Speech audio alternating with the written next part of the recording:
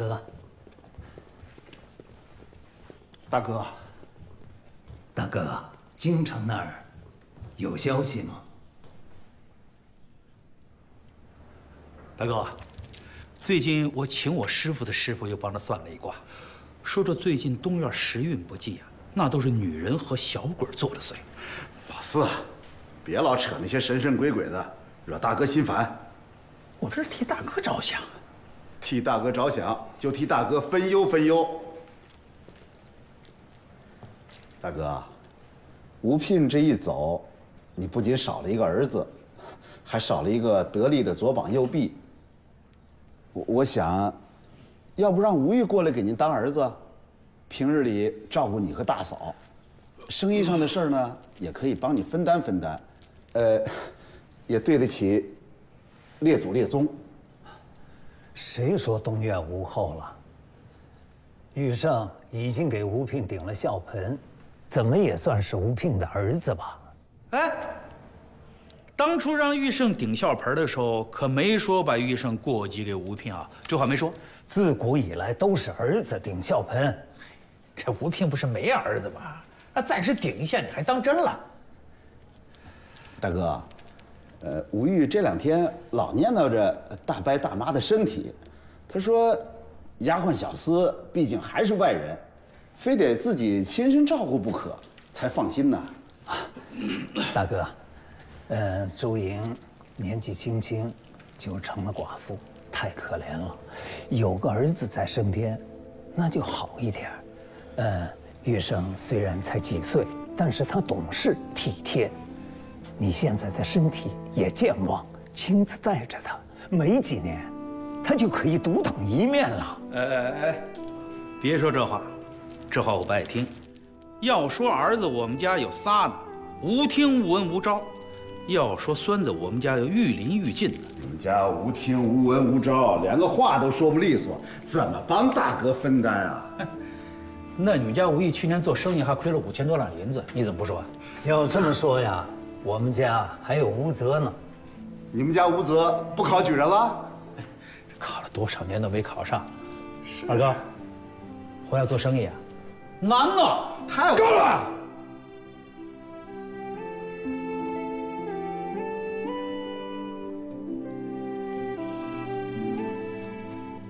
你们三个，听听你们三个刚刚说的都什么话？你们有没有良心啊你？啊？吴聘现在尸骨未寒，你们就在这边争着由谁来顶替他的位置，个个惦记着我东院的财产，还是不是我兄弟？还有没有良心啊你们？大大哥，千万别生气，这不不这这话不是刚才都是三哥挑起的吗？这是大哥，我的本意其实也是想为你分担分担。大哥，平时我们的生意都是你照顾，我们哪敢这么没良心？不要说了，不要说了，什么都不要说了啊！不要说啊！我今天算是看透了你们了啊！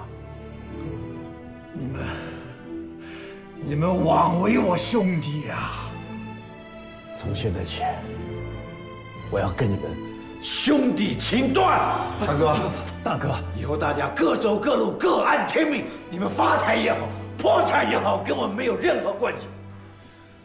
拿笔拿纸来！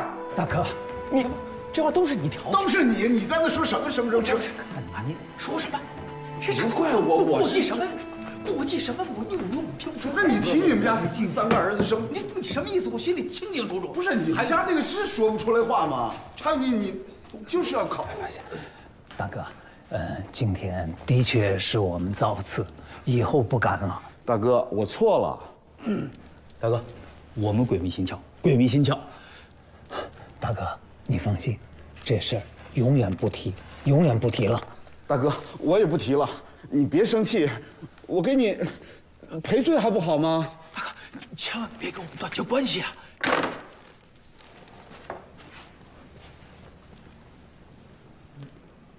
为我，大哥，你不是一直惦记着我手上那些土布客商吗？没没。今天我就成全你，我都转给你。但从今以后，你不再是我兄弟。不不，大吴伟双，大哥，你不是喜欢钱吗？没有。好，拿一千两银子来，我在三元典当行的股份我都归你。那从今以后，你我兄弟恩断义绝。那，大哥，大哥，吴伟全，哎，大哥大哥，你千万别生气。不，你薄情，但我不寡义。看在你我兄弟一场份上，你欠我的那些银子，一笔勾销。但从今以后，我不再是你的大哥，你也不用再进我东院的大门。拿去，大哥，大哥，大哥，大哥，别生气。放开，大哥，大哥，大哥，大哥。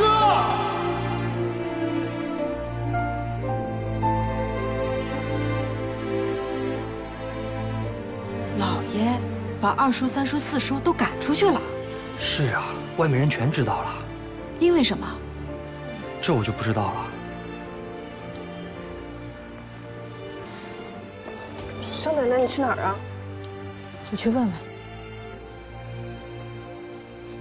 怎么说也是亲兄弟呀，哪能说断就断呢？老爷，爹，娘，大夫不是让你静养吗？你怎么又出来了？爹，我都听说了。你不会是因为那天四叔骂了我，你就和他断绝来往了吧？他骂我，大不了骂回去，没必要你们兄弟俩。闭嘴！我到现在才明白，老四说的原来全都是对的。你就是那个灾星，那个扫把星。你自己算算看，从你进了东院之后，东院出了多少事啊？啊！最后连吴平也赔上了性命。爹，你不是说四叔说的那套你都不信的吗？我现在相信了。之前是为了救急才让你进东院，既然你救不了吴聘，我还要你干什么？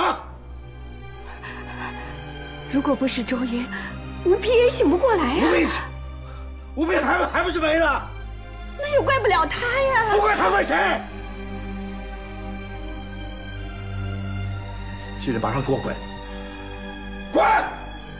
老爷，一刻都不要留！滚滚！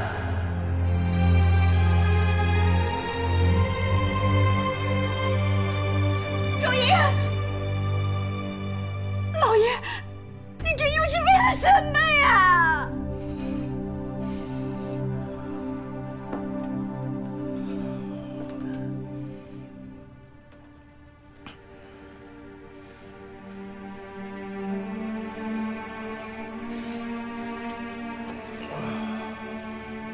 你是存心要把所有人都撵走？是。为什么？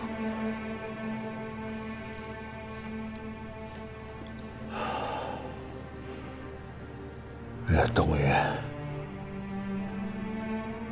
吴家东院。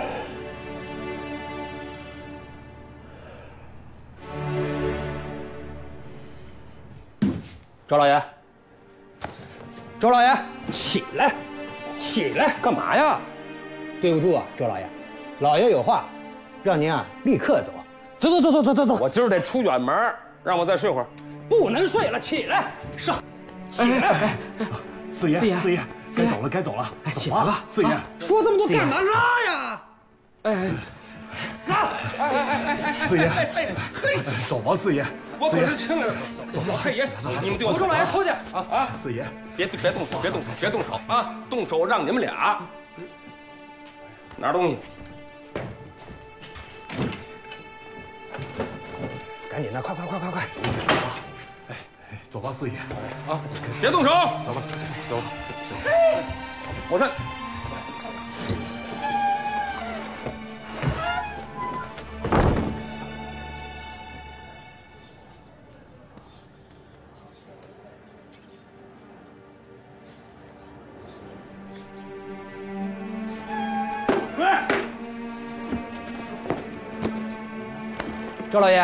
对我住啊！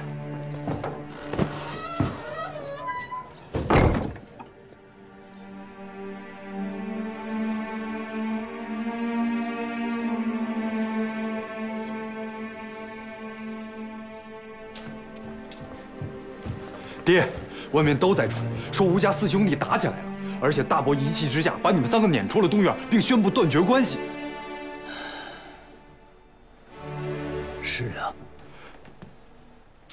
回事啊？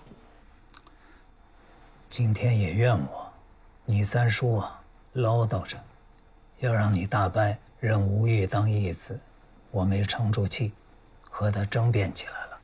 后来你四叔也掺和进来，结果把你大伯给惹恼了。爹，周无聘才刚走，你们就提这种事情，太不合时宜了。可我总觉得你大伯今天不对劲儿。他从来都是一个泰山压顶、不形于色的人物，就连吴聘的死，他也能冷静克制。今天怎么像换了一个人一样？这人伤心过度，难免会失去本性。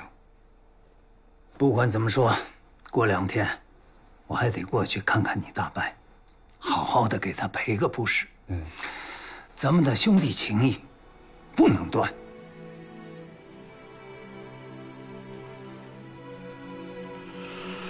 啊，大哥，今天咋发这么大脾气啊？这上面的每一个字都是大哥写的。你说是不是因为吴聘死了，失心疯了？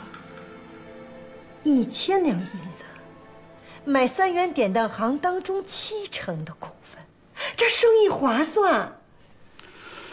早知道是这样，今天我就不该跟大哥提吴玉的事儿。虽说吴玉承继东院的事儿泡汤了，但白得一个典当行也还不错。不行，过两天啊，我要把这个契约还给大哥。为了这个典当行，当时大哥可是投了一万多两银子呢。哎呦，你傻呀！都给你了，哪有还回去的呀？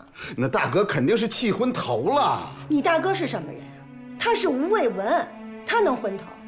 他这么做一定有他这么做的道理。都给你了，你就拿着呗。可是这听我的，没错。好吧。哎，你说这典当行当中九成的股份都归咱们了，哎，那以后可是咱们说了算了。应该是吧。哎呦，高兴点多好啊！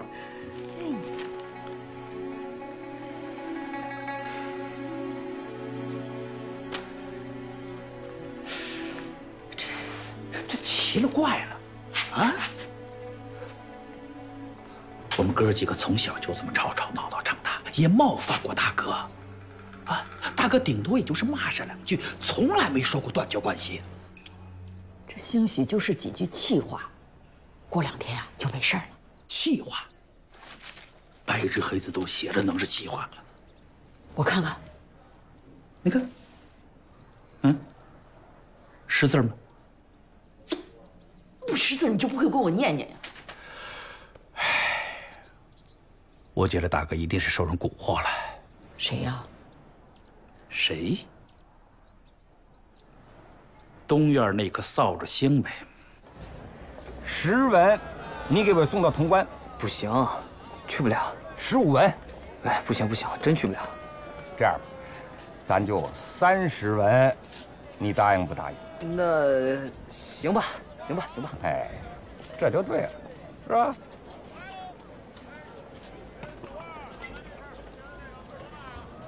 上车吧。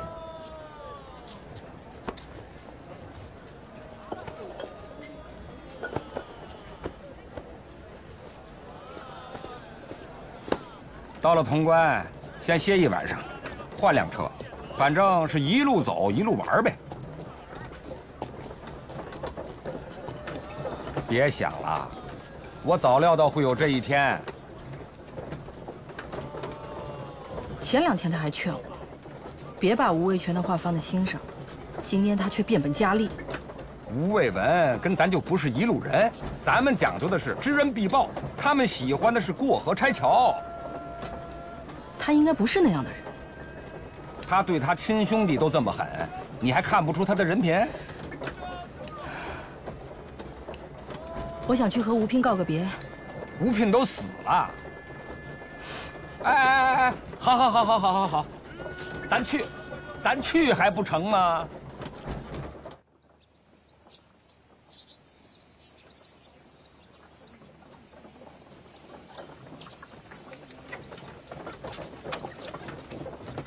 王世军，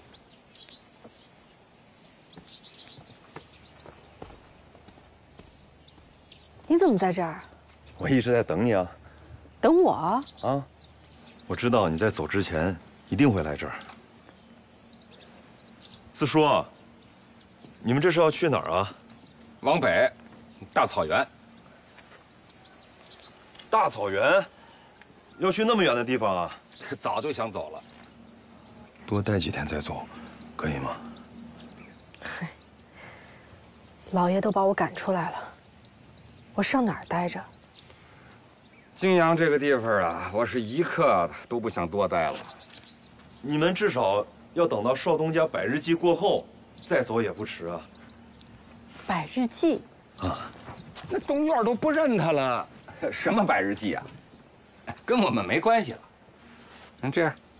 你进去看一眼，看一眼就出来。现在出城，天黑前还能赶到十里店。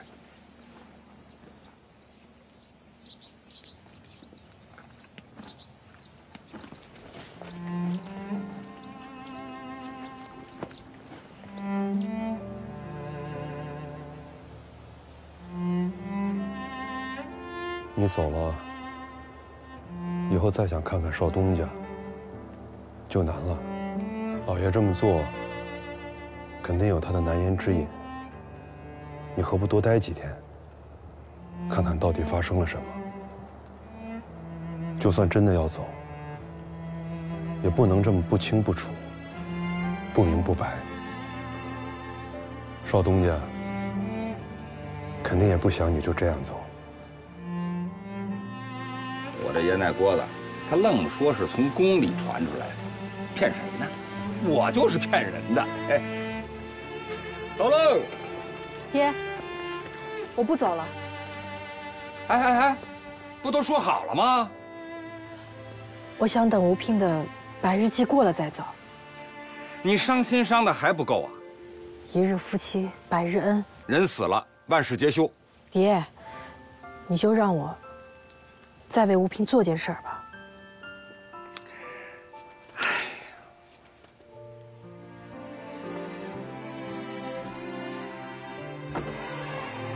四叔若阳，小心脚下。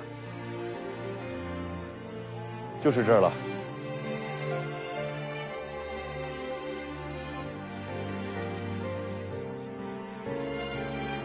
王世军，我记得你不是高陵人，你娘也住在泾阳，你在高陵，怎么还有这么一套院子啊？啊，这是以前治下的，平时院子也没人住，你们来了正好帮我看看房子。还真不错。是啊，四叔，这里离泾阳也不远，你要想回去给少东家扫墓，也就几里地。四叔，明天啊，就有人把柴米油盐送过来，钱我付过了，你们收着就行。爷们儿，办事儿够周到。四叔，这两边厢房啊，床铺和被褥都已经准备好了，天也不早了，我就先走了。你们早点休息。行了，谢谢你啊，王世军。哎，一一会儿我收拾。啊，黑灯瞎火的，慢点。哎，哎呦喂，今天这一天呢，折腾了我呀，总算到家了。家，这是家？能睡着的地方就是家。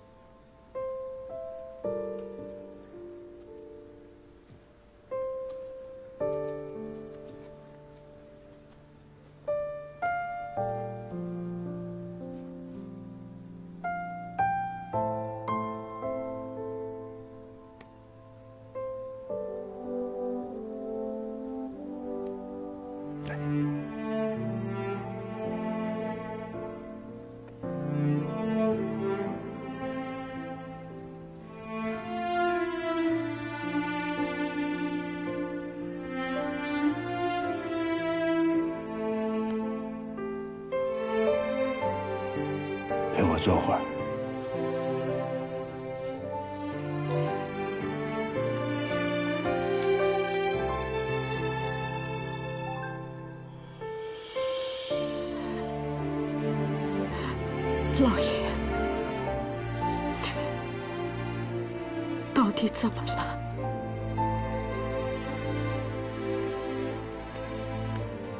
没什么。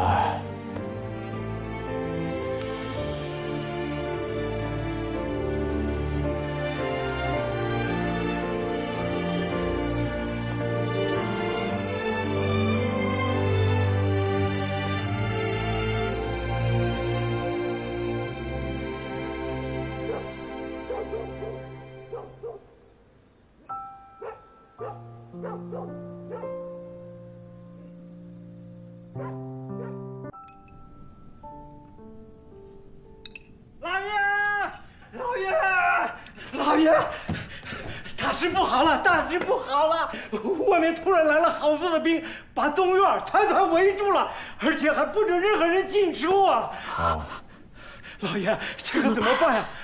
老爷，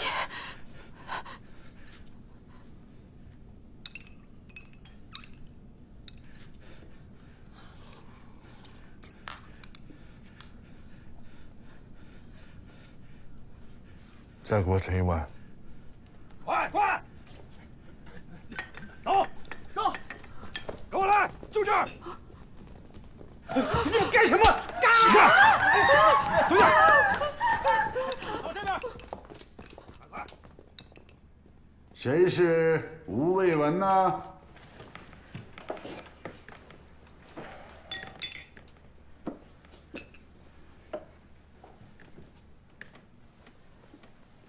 正是在下。奉上谕经查，陕西泾阳吴卫文承接户部军需订单，弄虚作假，谋取暴利，数额惊人，罪大恶极。谕令刑部尚书荣林缉拿吴卫文等一干人犯，即刻押送到京。其位于泾阳安吴之吴家东院所在，严密查抄。冤枉！冤枉！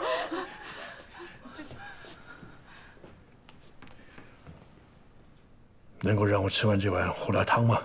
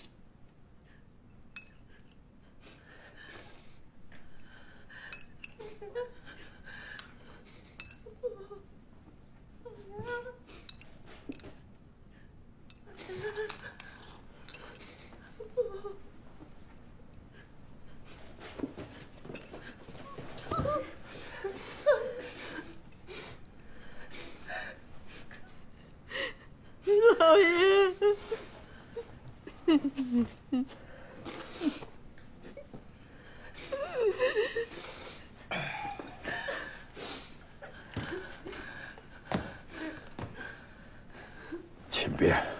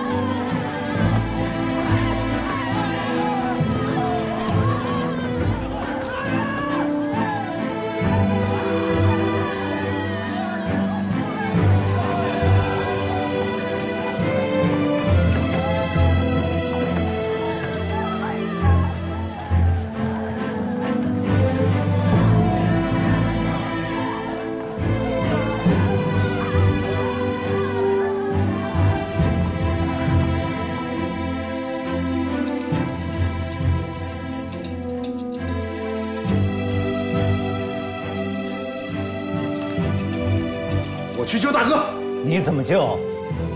咋救都行，就是不能这样干坐着。老三，回来。平日里，大哥对我们要钱给钱，要生意给生意。现在大哥出事了，难道我们不管？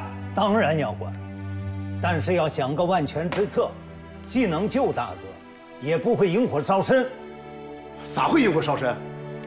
老三，你也不想想，军需药材弄虚作假，那是什么罪名啊？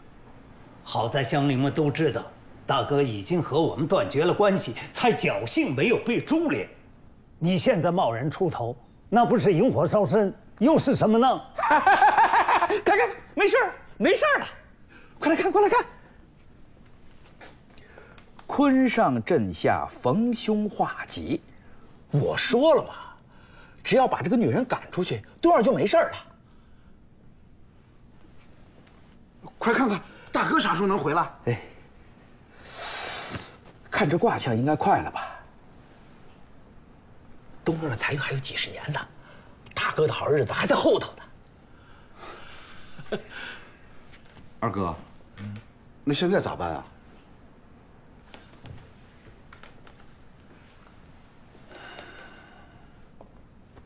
还是静观其变吧。要不再等等？那就再等等呗。这是上月进的，一百五。老爷，老爷，老爷，您听说吴家东院的事儿吗？怎么了？老爷，今天一大早突然来了好多官兵，吴文文被抓走了。东院但凡有头有脸的管家、账房掌柜也一起抓走了。后来吴家东院也被抄了。终于来了。听说还是因为那张军需订单的事儿，老爷，会不会连累到我们呀？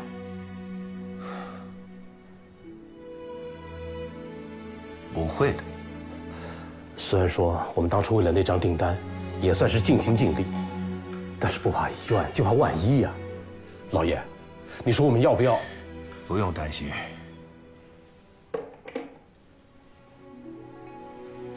你们继续去干自己的事吧。是老爷。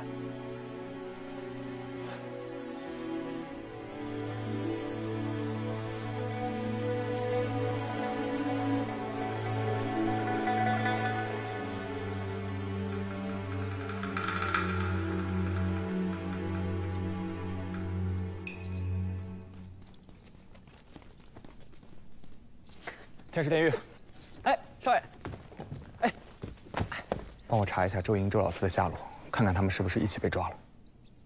哦，快去。哦。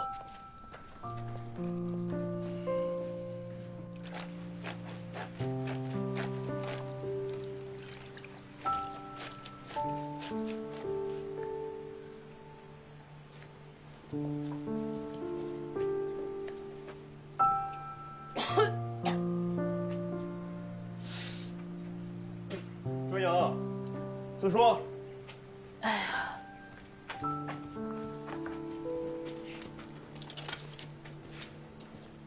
这边是吃的，那边是用的。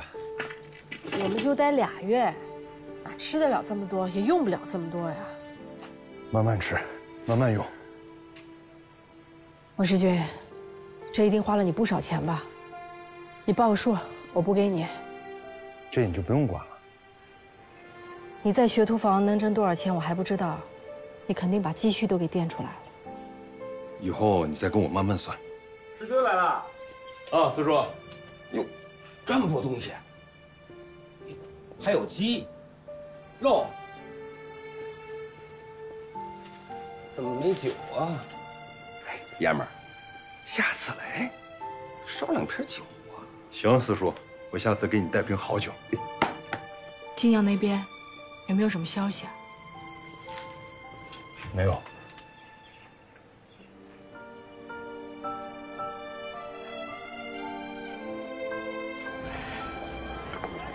二少爷，我听说那周莹不知道怎么了，好像得罪了吴卫文。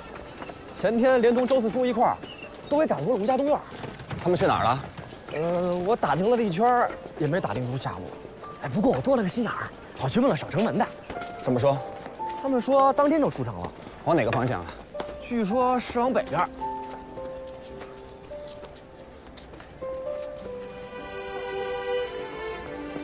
干什么呀？啊少爷，你看这街上哪有少爷背着米袋，我们在后面跟着呢。我这个少爷就这个脾气，我我们脸上挂不住，我都挂得住，你们有什么挂不住的？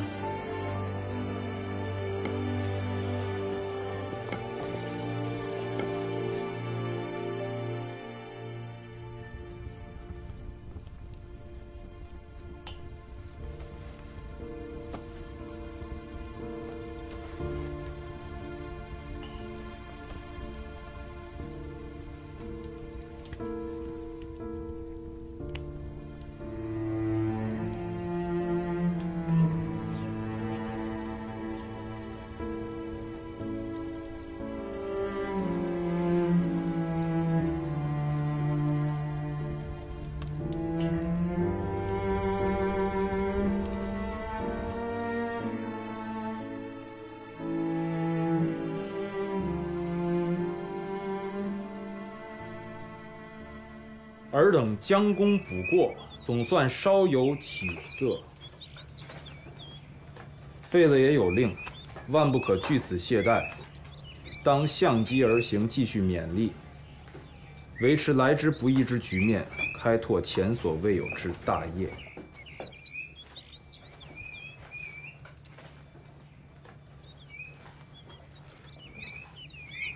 怎么了？咱们费了那么大心力，办了这么件大事儿，不过是将功补过，稍有起色。去年查尔在神机营累得吐血，贝勒爷不过就三个字：知道。知道了。看来这八个字对咱俩已经是很高的评价了。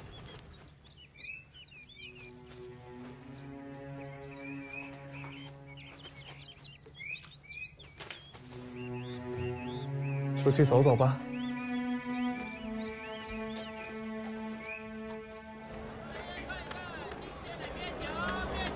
不知不觉，我们在金阳已经待了一年了。嗯，这一年算是没白忙活。可看贝勒爷的意思，咱们还得继续在金阳待下去。待就待呗，反正在哪儿都一样。是，在哪儿都一样。你老家不就泾阳了吗？我都不是我的，哪还有什么老家呀？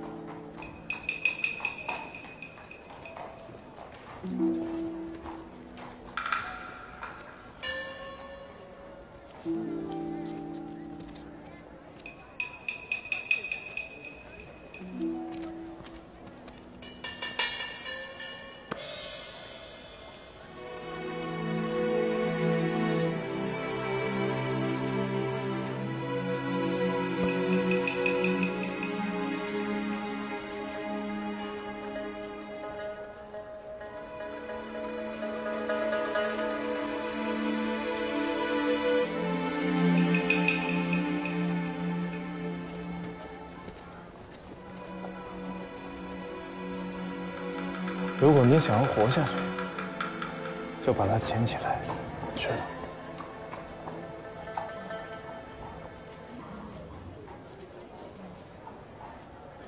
这就对了。你要记住活着才是最重要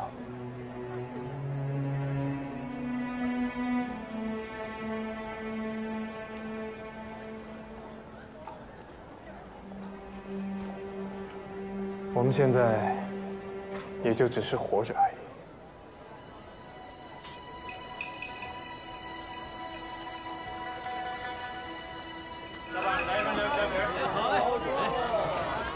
来来，让小让小，来，靠个边，靠个边。哎，周洋，石子馍，这不错。您来点儿。咱买点吧。待会儿啊。哎，周莹，净糕，嘿嘿，这是你最爱吃的，咱买点吧。我知道为什么你那么喜欢吃净糕，吃的是净糕，品的是你和我的日子。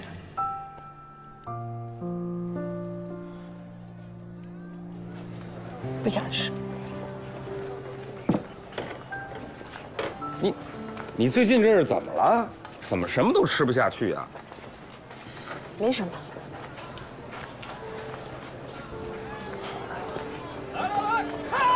四四六大！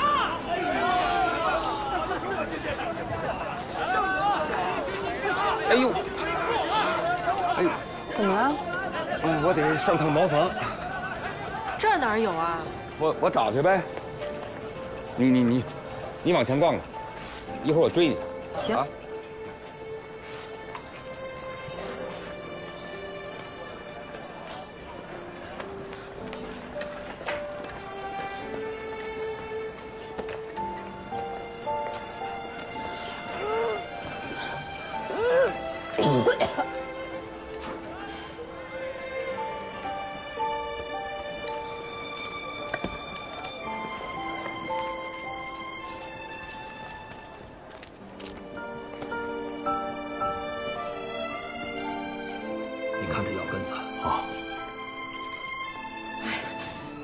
大夫，我不舒服，麻烦你帮我看看。